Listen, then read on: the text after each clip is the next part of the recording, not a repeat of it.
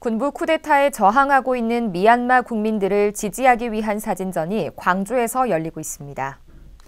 미얀마 여성들을 돕기 위한 사단법인 광주 아시아 여성 네트워크는 쿠데타 전 미얀마인들의 일상을 담은 사진 30여 점과 현재 군부 쿠데타에 저항하는 미얀마인들의 시위 모습이 담긴 사진 30여 점을 동구 메이홀에서 선보이고 있습니다.